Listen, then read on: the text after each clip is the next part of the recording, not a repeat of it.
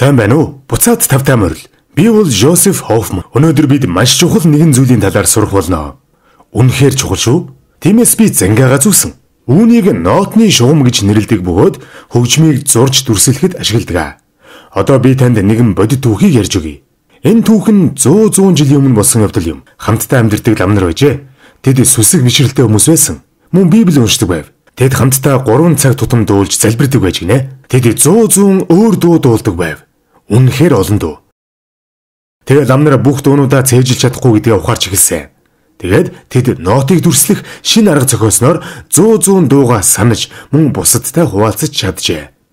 Тэдний зохиосон систем одоо хүртэл хэрэглэгддэг бөгөөд бид ч бас үүнийг ашигладаг.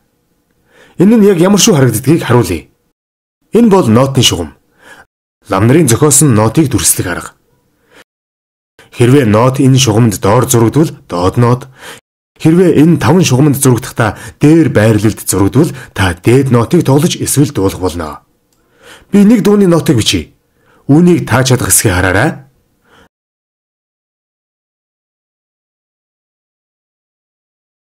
Нотуудыг зурхдаа яг энэ нотыг зурсан шиг шугам дээр зурж болно. Эсвэл энэ нотыг зурсан шиг хоосон зайд зурж болдог гэдгийг анхаараарай. Эдгээр гурван нот нь уруудах хэлбэрийн загвар юм. Энэ ямар дуу гэдгийг та тааж чадах уу? Энэ бол таны мэдих нэгэн дууны ердөө эхлэл нь байна. Ба ба ба ба ба ба Хэрвээ та Hot Cross Buns гэж таасан бол зөв өө. За дараагийн дууг бичиж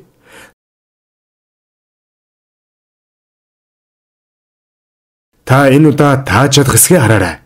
Энэ бүтэн дуу биш. Ердөө эхлэл нь шүү. ба ба ба ба ба Хэрвээ та фогонд мэдэл гэж таасан бол зүв байна.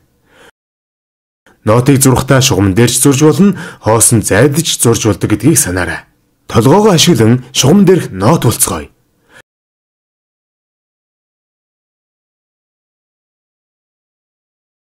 Та толгоогоо шугам дээр зурсан нот болгож чадах уу? Хэрвээ шугам яг толгооны чинь голд байвал энэ нь шугамн дээрх нот юм. Харин одоо хоосон зай зурагдсан нот болцгоё. Ихэвчлэн хоёр шугамны голд ингэж байрладаг. Та хоосон зай зурагдсан нот болж чадах уу? Заримдаа зөвхөн шугамны доор эсвэл шугамны дээр байрладаг.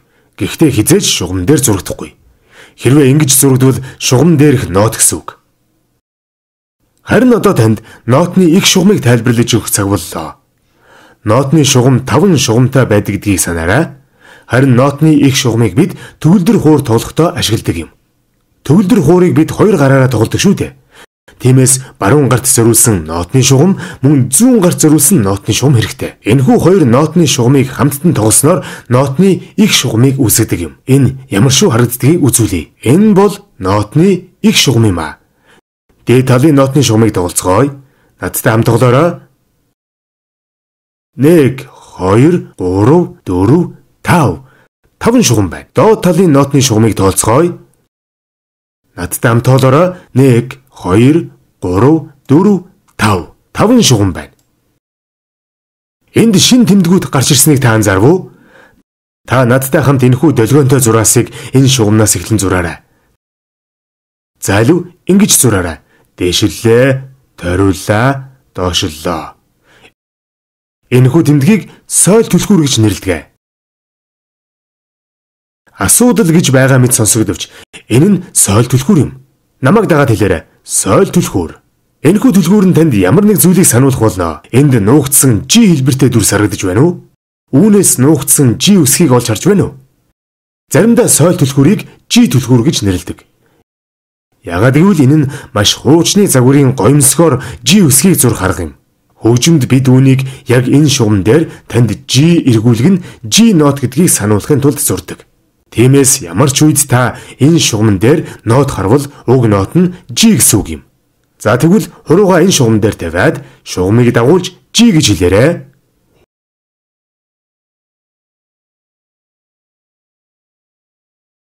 Сайн байна. Харин одоо нөгөө түлхүүр рүү анхаарлаа хандуулаарай. Энэ түлхүүр нь доод нотуудад зориулагдсан. Энэ нь баргар царайтай баг зэрэг төстэй. Хэрвээ би эсрэг тал руу нэргүүлбэл та жаахан гонигтай байгааг харах болно. Бид үүнийг фа түлхүүр гэж нэрлэдэг. Мөн өөрөө F түлхүүр гэдэг. Ягаад гэвэл фа түлхүүр нь бидэнд F шугам хаана байгааг харуулж өгдөг юм аа. Ноён баргар царайны хоёр нүд нь F шугам руу их сардаг.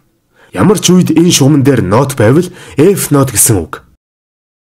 Хуруугаан шугам дээр тавиад шугамыг дагуулсан зураад F гэж хэлээрэй. Сайн байна. Харин одоо өнөөдөр сурах дахиад нэг нот байна. Энэ нот нь нотны нэмэлт шугам гэж нэрлэдэг богинохон шугам дээр байрладаг юм. Энэ шугам нь гол таван шугамд хамаарахгүй.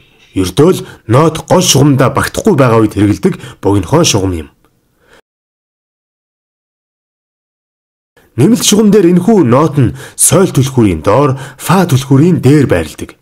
Бид үүнийг дунд си гэж нэрлэдэг. Энэ хоёр нотны нэг рүү заагаад дунд си гэж хэлээрэй. За, одоо баттгацгаая. Надтай хамт руугаараа заагаад энд байгаа бүх нотыг нэрлэлцгээе. Сой түлхүүрийн G, дунд C, фа түлхүүрийн F, сойл түлхүүр, фа түлхүүр. Харин одоо сэргээн санахын тулд тоглоом тоглоцгоё. Би нотны их шугам дээр нотууд бичих болно. Миний хуруугаараа заасан нотыг нэрлэхийг хичээгээрэй. Миний зааж байгаа нотыг нэрлэхийг оролдоорой. Энэ ямар нот вэ? Хэрвээ та дунд С гэж нэрлсэн бол зүв байна. Энэ нотны нэр юу вэ? Хэрвээ та соёл түлхүүрийн G гэсэн бол зөв байна. Соёл түлхүүрийн шугам дээр байгаа учраас бид үүнийг соёл түлхүүрийн G гэж нэрлэдэг шүү дээ. Энэхүү соёл түлхүүрийн цаг ямагт G нот хаана байгааг танд харуулж байдаг гэдгийг санаарай. За энэ ямар нот вэ? Хэрвээ та фа түлхүүрийн F гэсэн бол таны зөв байна. Фа түлхүүрийн хоёр нүд нь цаг үргэлж F нот хаана байгааг танд харуулдаг. Хэрвээ энэ нот жаахан л доошлоод шугам дээр биш хоосон зайд бичигдвэл F нот байха болно. F нотны доорх нот болно гэсэн үг. Эсвэл хэрв энэ нот жаахан л дээшлээд бичигдвэл F нотны дээрх нот болно. F нот шугам дээр бичигдэх ёстой. Яг энэ шугам дээр бичигдэж байж F нот болно. За дараагийн тоглоомоо тоглоцгоё. Энэ удаа арай хэлбэршүүлье. Одоо би маш олон өөр өөр нотыг нотны их шугам дээр тавьсан байна. Зарим нь бидний дөнгөж сая сурсан нотнууд, харин зарим нь огт сураагүй нотнууд байгаа. Нотнуудыг олоход минь туслаарай. Эхлээд дунд С-ийг олцгоё. Дэлгэц дээр дунд С-ийг заагаарай. Хэрв та энэ нот руу заасан бол таны зөв. Энэ бол дунд С. Харин одоо treble G-г олцгоё. Эхлээд G шугамаа олцгоё. Энэ байна. Энэ шугамын дагуу явсаар та энэ нотыг зааж байгаа бол зүв байна. За хамгийн сүүлд нь bass F-ийг олцгоё. Энэ bass F мөн үү? Биш ээ. Учир нь буруу шугам дээр байна. Хоёр цэгний дундуур гарсан шугам бол bass шугам. Энэ шугам дагуу явсаар энэ нотыг зааж байвал Таны зөв. Энэ бол base F. Ингээд хэрэг та илүү ихийг сурмаар байвал мөн өөрөө нот зурхыг хүсвэл манай вебээс хичээлийн материалуудыг татаж аваарай. Анхаарал хандуулсанд баярлалаа. Дараа дахин уулзцаая.